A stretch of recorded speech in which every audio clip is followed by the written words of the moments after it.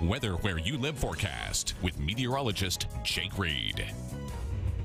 Rapidly approaching Memorial Day, most people consider that the unofficial start to summer, but if you have been paying any attention to the weather, you know that the weather has been in summer mode for several weeks. It feels like that it has been now. 78 degrees now in Huntsville, 79 Meridianville. Scottsboro still checking in with 80 degrees. Keep in mind, it's 9:15 at night. This is very warm for this time of the year. Even places like Winchester still in the low 70s right now.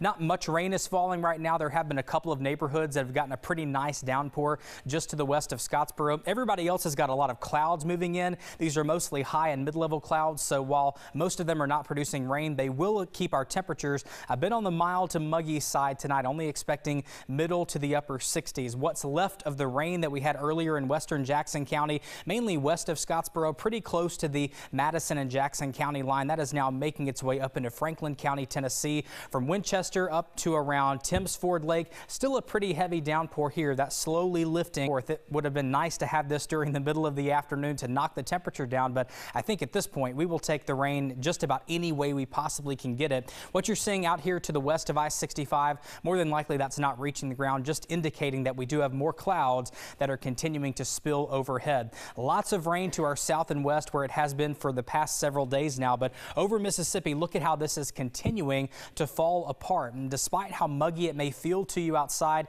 there is still quite a bit of dry air, so that's why we're not expecting any widespread rain here in the Tennessee Valley, which is not good news because as we've been talking about, the latest drought monitor outlook from the National Weather Service does have much of the Tennessee Valley in a moderate drought. And keep in mind, this is updated every Thursday morning. So with our rain outlook not being so great, I expect this probably will get worse with the next update next week. What we need is rain from a tropical system. Lo and behold, we have one. It's just not in the right place we need it for beneficial rain here. The latest numbers on Tropical Depression 2 max winds at 35 miles per hour. It's not very strong. It's not very organized. Forecast to make landfall on the South Carolina coast uh, Sunday afternoon as a weak tropical storm. So we'll continue to watch this. If you've got a vacation plan to Hilton Head Island or Jekyll Island, this will affect you. But here in the Tennessee Valley, this is not going to affect us with the beneficial rain that we oh so desperately need. Tomorrow, about a 30% chance you'll have to dodge a shower or storm, mainly in the afternoon.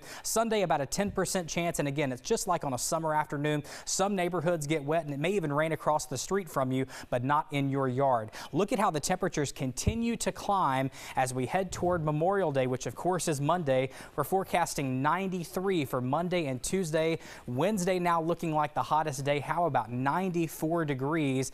And I'll use the term cold front very loosely, but late next week we do have a front that'll be moving in. That'll increase the chance of rain just a little bit, but it will bring the temperature down, which will be a very welcome sight. Definitely. All right. Thanks, Jake.